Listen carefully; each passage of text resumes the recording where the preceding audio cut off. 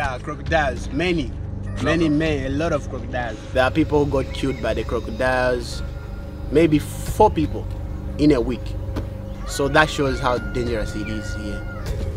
Midden in de bush. En jullie zien nu op de lens ook al die vliegjes zitten. Ja, ik ben kapot. In deze tweede aflevering van Expeditie Afrika lopen we dwars door de bush van Zambia. Yeah, what I'm really saying here, you're the first ones to walk by foot from Kazungula to Livingston. So you think we're crazy? yeah, yeah, really, everybody is just wondering, what are these people doing? Yeah, everybody. Oh, Is it possible? Only mad people walk, Yeah, uh, yeah. yeah, like that. Mijn naam is Govert Zweep en in deze serie neem ik jou mee op expeditie door Afrika. Twee weken lang loop ik met een Nederlandse militair dwars door de wildernis. We ontmoeten locals en ervaren de enorme armoede. We gaan met een survival expert diep de jungle in. Ik val flauw van de inspanning en we worden bijna gedrogeerd maar weten te ontsnappen. Dit is Expeditie Afrika.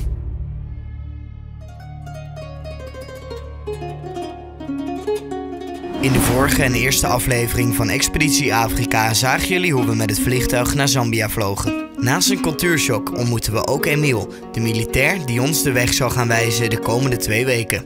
We spraken over de route die we zouden gaan afleggen en alle gevaren die daarbij konden komen kijken. Op dit moment is het ochtend. We worden wakker in Kazangula.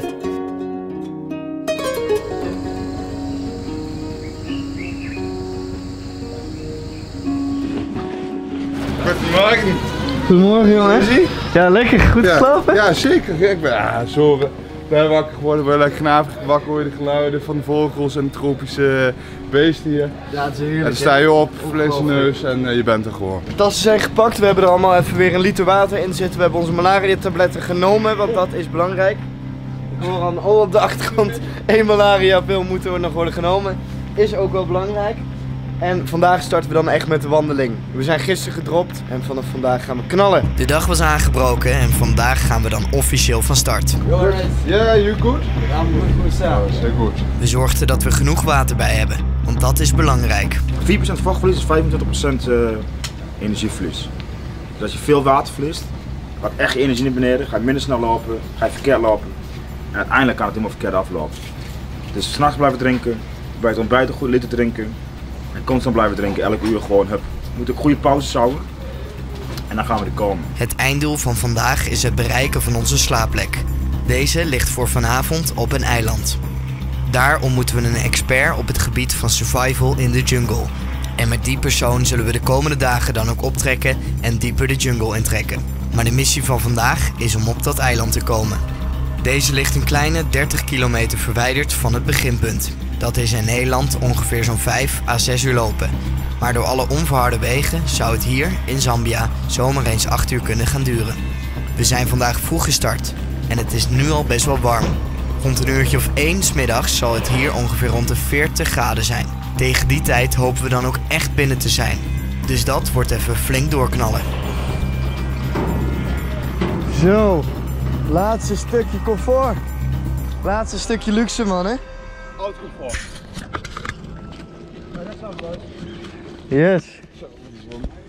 Nou, top. Oh, good morning. Morning. You wanna have football? Yes. Yes? Okay. Yes.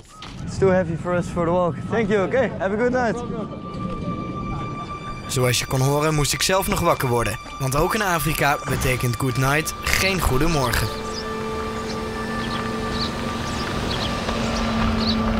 You want a bottle of wine? Yes, I, Yeah? If you want. Yes, I, I want. Perfect.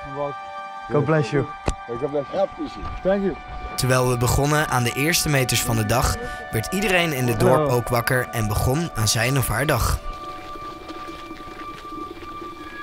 Heb jij een vraag over onze expeditie naar Afrika? Laat het weten in de comments. Ik probeer zoveel mogelijk vragen te beantwoorden. Hello. Morning. Morning. De rust van een ochtend hier in dit dorpje in Zambia was onbeschrijfelijk. High five. Hello.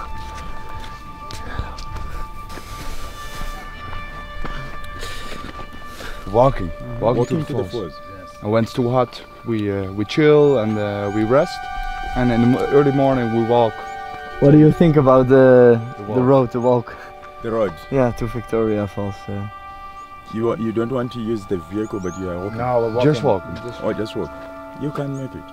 Yeah? But, but it will take some some time. You are very strong. very strong guy. Stress of haast leek geen begrip in deze vroege ochtend. Enkel positieve gesprekken. Zo man, hè? De eerste meters. Ja, daar gaan we. Ik voel toch wel op je rug al. eh, Hey, morning. Het zweet voor je nu al. Ja, dat, dat, dat langzaam. Ik moet zeggen dat de temperatuur Ja, het is heerlijk. Dat nu echt heerlijk. Ja, daar moet je Hallo. That's bad. Where is that bad? De bek? The bad. That one is was was flying yesterday. I don't know. Yeah, that's what I mean. For remote. Oh, de drone. I was saying. Ja, ja, ja. ja. Ah. My friend. Okay. How's that? Yeah, you, you enjoy it. Yeah, so by walking you reach, let me see, by 12, 12, 13 you reach that side. Oké. If, if, if you walk like men, now if you walk like ladies, you reach around 16. In Nederland zou je gecanceld worden met zo'n opmerking.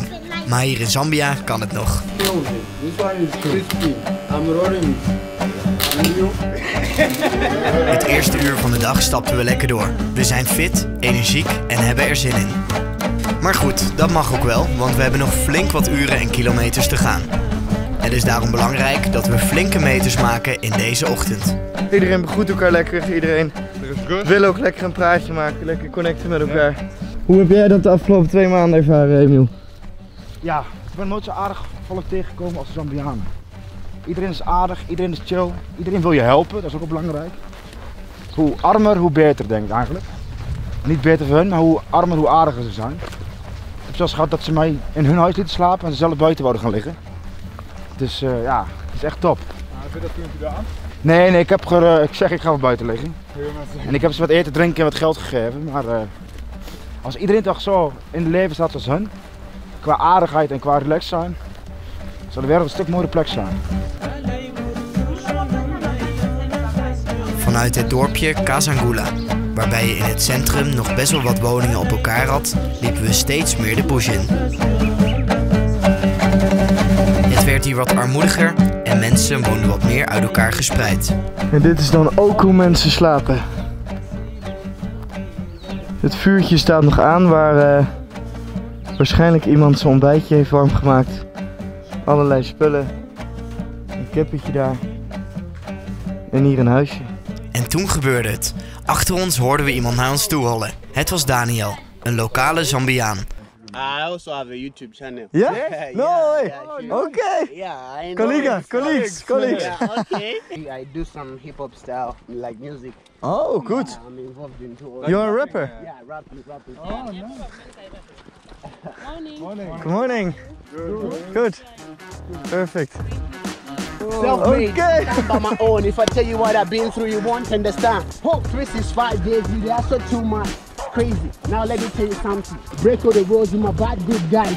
Live your boats in my brand new car. That's what I wish every time I see a city star. God bless to my niggas who they show me love. Rise and shine. Never undermine. Run your race to the finishing line. Oh. Everybody clap for my African star. Oh. Ja, In fact, most of the blacks they say, you know, we, as blacks we cannot compare ourselves to white people. Oh, why- why, why, why they say like that? Why is that?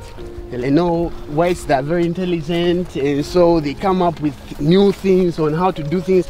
But for us Africans, we're like still doing the same old stuff over and over, not coming up. With, they're like they're lacking creativity, and so that's what they say. Most of them, no, like working together just the way you did. You Yeah. you, you made a plan. You said, no, guys, let's do this. Yes. But for blacks, it's different. Yeah. You see somebody is saying this thing and the other one is saying that, that, that thing, and so they cannot come up to, to a better conclusion. Like most of my education, you know, I grew up from the street. Yeah. And so most of my education, I used to go at the street, I work, I work. And then in order for me to learn properly, I just used to go on YouTube. Mm-hmm. Because on YouTube there are a lot of things, em- almost everything you Yes. can think of. So I just like get the question, I put it on YouTube. Somebody started explaining to me, you know?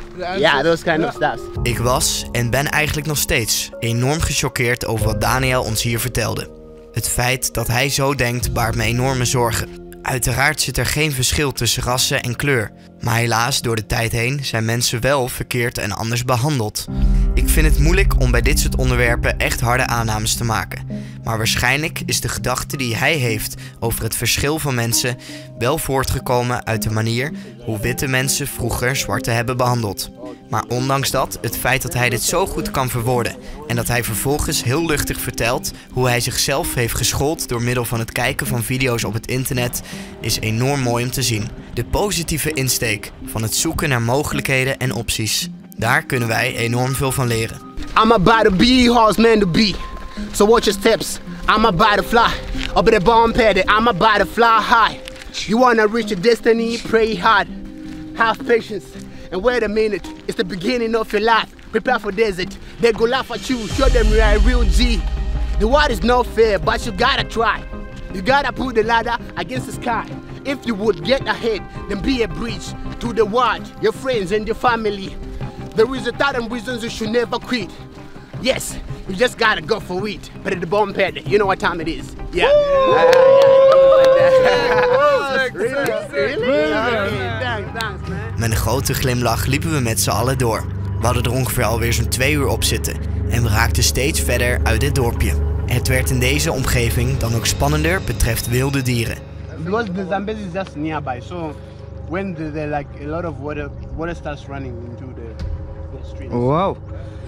Nou, de rivier waar we dus naast lopen al de hele tijd, die Zambezi rivier, die ligt dus daarachter.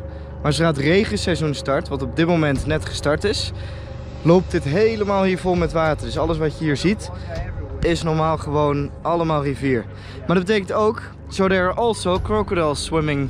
Yeah, There. many- yeah, crocodiles, many, many, many, a lot of crocodiles. because we recently heard that in Botswana they throw some crocodiles in the Zambezi, Oké. and so maybe that's when we are still facing a lot of challenges. People they get killed by crocodiles. Most of the people here they go out fishing, and some of them they want to go and swim, and so we have been just getting bad news from from here, just from the local jail. You know, there are people who got killed by the crocodiles, maybe four people in a week. So that shows how dangerous it is here.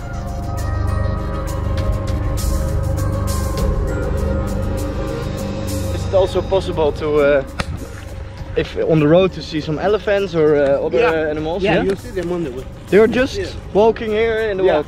You you see a lot of animals just on the way. Wat was nou het dier wat het meest gevaarlijk was? Nijlpaard, ja, dat zou je niet denken, schat ik, nijlpaard. Ja. Die zijn dus eh 1000 kilo of zo. Ja, die echt giga. Zo'n bek en die eet je dus blijkbaar gewoon ook op. En die lopen dus gewoon ook hier, die zwemmen ook in de rivier. Helemaal lijp. Nou, in ieder geval, we zijn aangekomen op een vaarderweg. Iets wat je niet per se hier direct zou verwachten. Maar, eh, you're going home? Of course, I understand. Thanks for walking this uh, long road. En nu zie je echt de lokale mensen. Hier lopen ze ook wat, wat, wat voor problemen ze hebben. Met krokodillen, eten, Ja, je, je, je, spreekt even met ze. Tuurlijk, als je met de auto gaat, zul je af en toe 10 minuutjes max met iemand Ja. praten. Maar nu lopen we gewoon al een uur lang met Ja. En, dan kom je, zeker op het eind, komen in één keer al die echte verhalen los. Ja.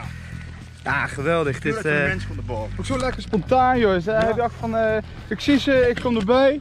Ja, dat weten we. Ja, dat is zoveel positieve energie, niet normaal.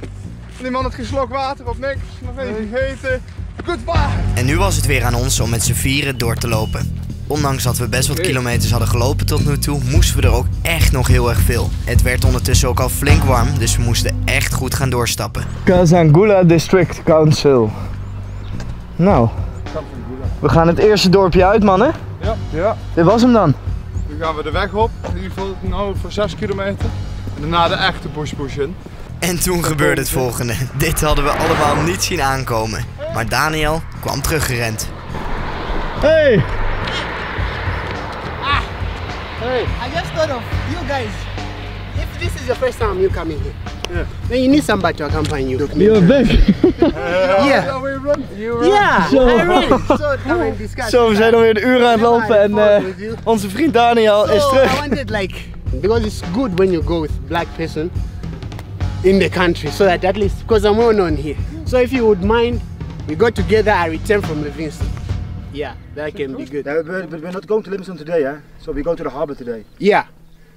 No problem. We can go. Even one week we can go. Really. Nou, dan zijn we met z'n vijven man, hè?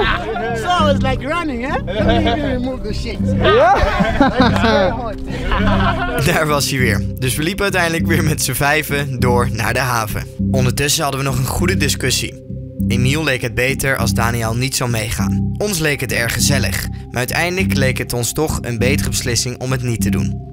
We hadden namelijk aan het eind van deze dag afgesproken op een eiland met de Jungle Expert. Daar was het niet de bedoeling dat we iemand extra zouden meenemen. Daniel ging alsnog mee tot aan de haven om ons gezelschap te houden. Yeah, what I'm really saying here, you're the first ones to walk by foot from Kazungula to Livingston.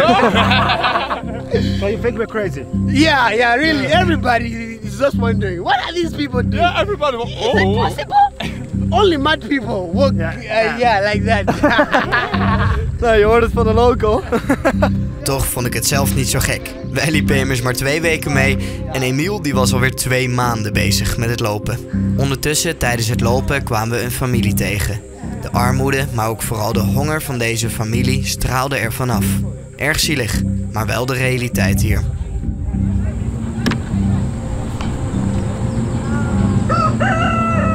We spraken even met ze.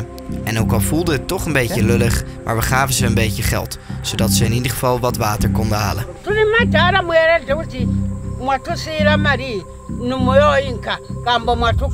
Als je dan nu aan het wandelen bent en je komt een 10 kilometer eh, buiten zo'n dorpje, ja, dan leven de mensen gewoon met hun familie gewoon helemaal in een eentje hier. Ze hebben hier ook geen andere families of mensen. Het is echt ja, alleen gewoon je gezinnetje en daarmee moet je het redden.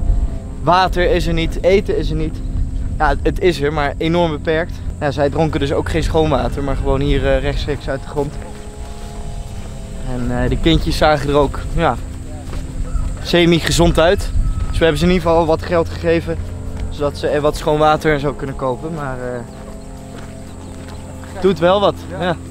Zo'n kindje en die had echt zo'n bolle buik. En dat betekent echt dat, dat ze tegen hongersnood, of eigenlijk hongersnood eigenlijk, aanzitten. Eh, dat is toch best wel bizar om te zien. En het voelt mega dubbel om hier als Westeling even ons gevoel over uit te laten. We veranderen er niks mee. Ook niet met die paar euro die we geven voor schoon water. Het enige wat we hiermee bereiken is eventueel wat emotie uitroepen bij de kijker thuis. Maar wat gaan we hiermee echt veranderen? Ik denk eerlijk gezegd helaas niet zoveel. En dat is wat het is. Maar dat geeft wel echt een rot gevoel. Is love peanut butter. En stiekem uh, verlies je wel vocht, hè? Ja. Eigenlijk wel.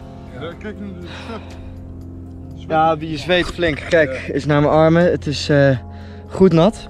Ik denk dat we al een aantal liters zijn verloren afgelopen uren. Eh, flink wat calorieën ook. Die eten we nog bij met, eh, met de bars die we hebben.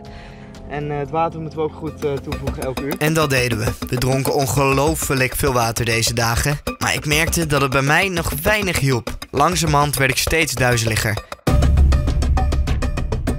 Maar het draait maar om één ding. En dat is de missie die we vandaag hebben. Het bereiken van de haven en het regelen van een boot om bij het eiland te komen. Het plan is dan dus ook om met die boot naar een eiland te gaan. En op dat eiland eh, te overnachten. Dus we gaan door. We hebben nog een klein uh, rechtdoorpaadje te gaan. Het einde is nog lang niet in zicht. Dus we stappen lekker door. Onderweg naar de olifanten. Poeh. Ik vind het even verschrikkelijk allemaal.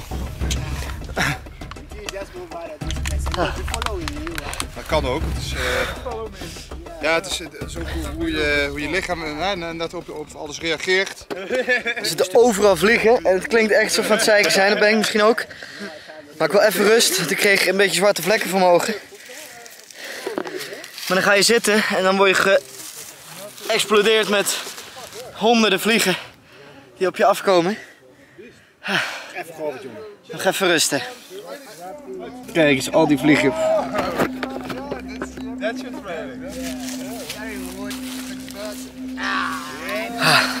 Nou, we zijn dus pauze aan het houden hier. Midden in de bush. Geen schaduw hier. Ja, hier een mini stukje, maar ja, de bomen zijn nog helemaal niet groen omdat we rechtstreeks uit het droogseizoen komen. Dus er zit nog niet veel blad. eh. En jullie zien nu op de lens ook al die vliegjes zitten. Ik stapte door en bleef tegen mezelf praten. Het was echt een mentaal spelletje. Iedere seconde bleef ik mezelf vertellen: doorgaan, niet stoppen. Doorgaan, niet stoppen.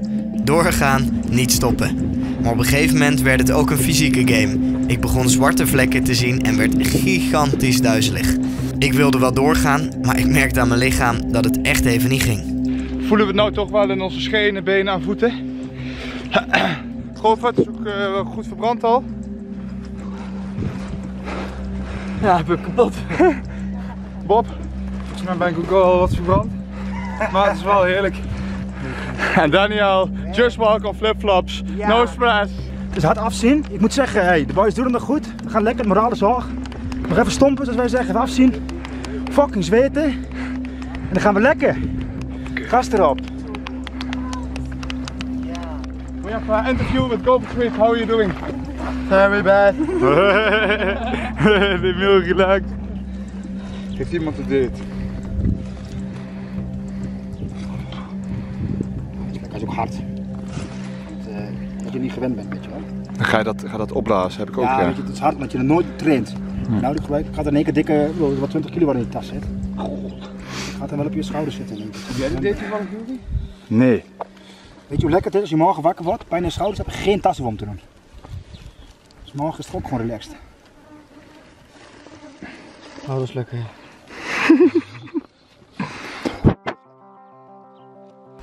Kijk eens even.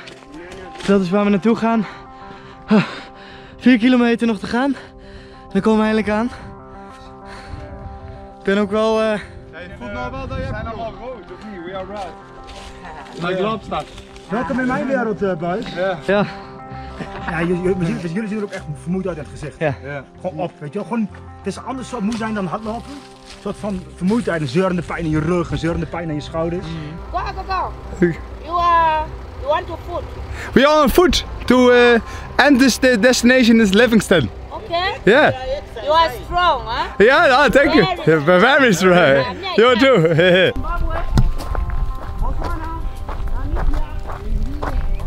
Kijk eens even, kijk. Weet je jongens, gewoon wat weet niet dat ik nog film. Maar hij heeft wel snel hard gewerkt. En nou is dit het uitzicht. En daarachter ligt de rivier we weer moeten. Dus, eh dus kijk, had hij nog even kan omdraaien. Wat. Kijk eens even deze kant op, kijk. Hij staat erop, hij heeft hard gewerkt. Helemaal naar de kut. Hij is helemaal naar de kut, maar hey, we zijn er. En kijk het fucking uitzicht.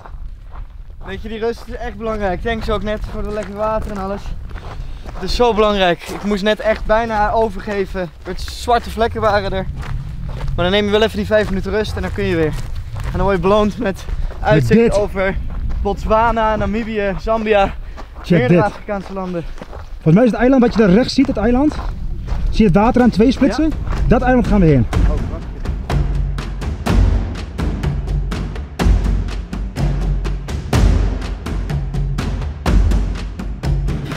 We lopen richting een dorpje. We moeten hier doorheen om uiteindelijk bij ons bootje terecht te komen. Maar no entry, mine area staat er ook en daar een doodskop. Hallo, nice to meet you. Nice. How are you eating shima? Uh, this is a lunch. Lunch, good. You want me to have to go to have Yeah. You have to go to the harbor. Oh. Like with the boat. You want to see the boys? Me, I'm We need to go to Katumbura Harbor. Katumbura Harbor. It's not Katumbura, it's Maluk. Yeah, we need to go to Katumbura Harbor, like here. We need to go there. Katumbura Harbor. This is the road. We're here now. Here now here. Where's Katumbura Harbor? Oh, you saying that it's this side. Yeah, but I think that's a different. Okay, we need to go here. Nou, met de locals bespreken waar we het beste heen kunnen gaan. Maar daarachter zien jullie dus een eh, mijn, een kopermijn. En eh, ja, hier graven ze gewoon rechtstreeks het koper uit de grond. En dat verkopen ze natuurlijk weer door aan de rest van de wereld. Want Afrika is een bron, rijke grond, een bron van grondstoffen. Goud, diamanten, alles erop en eraan. En nu zien we het met eigen ogen. En nu eh, gaat hij dus naar de haven wijzen. Ik denk dat het dichtbij is als hij mee gaat lopen. Ja, maar Afrikanen kunnen goed, door, goed doorlopen, hè? Ja. Dus wie weet ben je nog een paar uur bezig. Ja, ze hebben geen last van de hitte van mijn gevoel. Nee, maar onze map, onze kaart die Emiel bij heeft, die, eh, die zegt dat het op zich een oké afstand is als we het vergelijken met wat we al gelopen hebben. En je kunt natuurlijk altijd ook naar die schaal kijken en ongeveer de kilometers inschatten. Al is dat wel net wat anders hier in Afrika dan, eh, dan in Nijmegen. Maar dat is geen reden om niet door te lopen. Alhoewel, we hebben überhaupt geen keus, want hier kunnen we sowieso niet slapen. We liepen om de hekken van het grote terrein van deze mijn heen. We stapten door, maakten meters, maakten kilometers en zo ging het even door. We lopen hier een open veld op. en we zien in één keer een voetbalveld. Ik zat even na te denken van hoe kan het hier in één keer zo leeg zijn. Maar dat hebben ze waarschijnlijk gekapt om er een voetbalveld neer te zetten. We zijn al echt enkele uren bijna niemand tegengekomen. Het is pure wildernis, in één keer een voetbalveld. Dan denk je, ja, wie gaat hier dan spelen? We komen aan bij een dorpje. Zo. Daarachter staan wat mensen. Hier staan wat mensen. Iedereen ligt wat.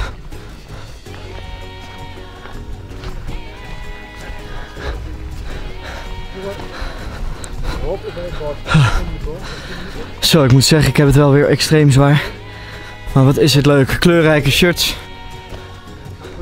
Hier een huisje, ze hebben ook gewoon ramen. Hello. How are you? Very good, yeah. Have a good day.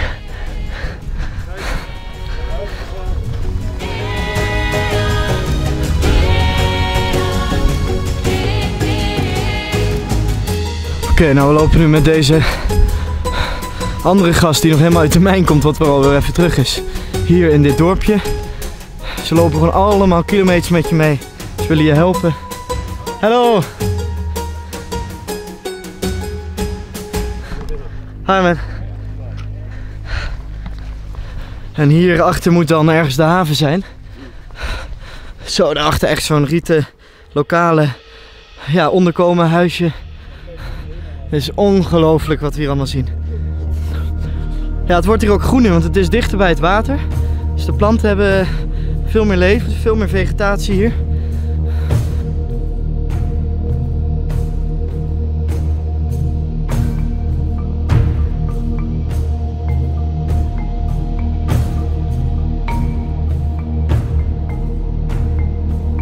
Hi guys. Two days we're here, okay? How you doing?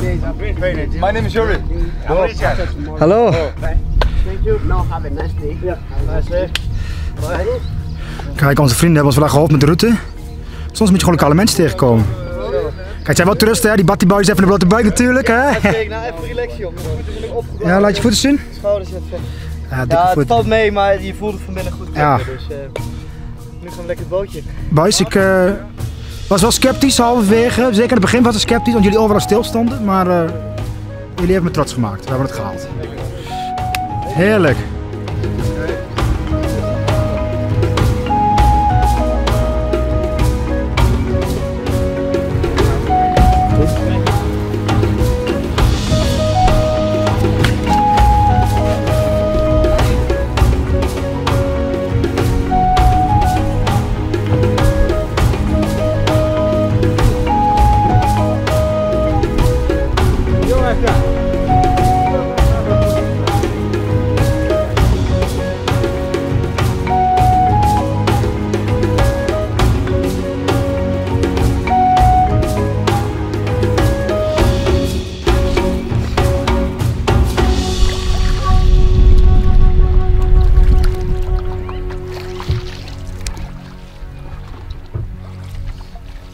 Op dit moment gaan we over het water met dit, eh, met dit bootje met deze gasten. We gaan naar een eiland. Daar kunnen we als het goed is eh, gaan slapen vannacht. We hebben een zware dag gehad, maar wel echt een mooi, eh, mooi gevoel. En de natuur die verandert ook. Dat is heel mooi. We liepen eerst heel veel droogte heen, heel veel struiken. En nu uiteindelijk komen we echt ja, door meer jungle gevoel. Omdat het hier natuurlijk veel meer... Ja, er is veel meer water. Het is vochtiger, dus er groeit heel wat anders. En ja, bizar om hier gewoon in zo'n kuipje te zitten met krokodillen om je heen. In de volgende aflevering ontmoeten wij Jacob, de jungle-expert die ons verder dieper in de natuur gaat meenemen.